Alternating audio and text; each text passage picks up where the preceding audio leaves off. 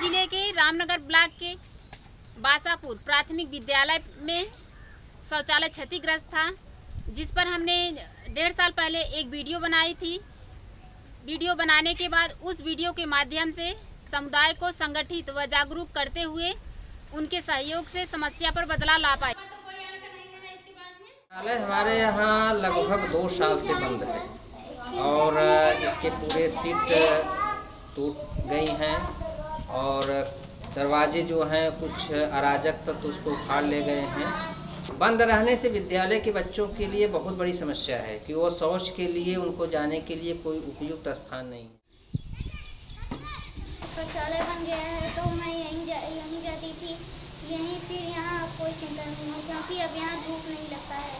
शौचालय से स्कूल में आ जाती हूँ शौचालय और चहरदीवारी की समस्या थी।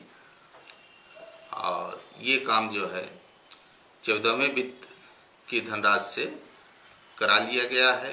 अभी गेट नहीं लग पाया है, लेकिन गेट बन रहा है। जो आपने सहयोग दिया, जो आपने विद्यालय की कमियों का मुद्दा उठाया,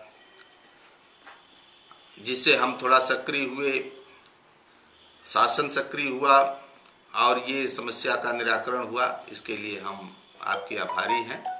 और आपको धन्यवाद ज्ञापित करते हैं।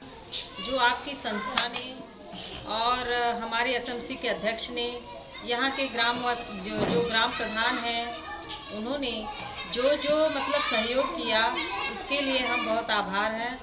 और मैं उनको धन्यवाद देना चाहती हूँ जिन्होंने हमारा शौचालय बनवाने के लिए इतना बड़ा सहयोग दिया। मैं चाहती हूँ कि इसी प्रकार समुदाय की समस्याओं पर वीडियो बनाती रहूँ। और उनके सहयोग से समस्या पर बदलाव लाती रहूँ। मैं उषा पटेल जौनपुर जिला के उत्तर प्रदेश, इंडिया नहट के लिए।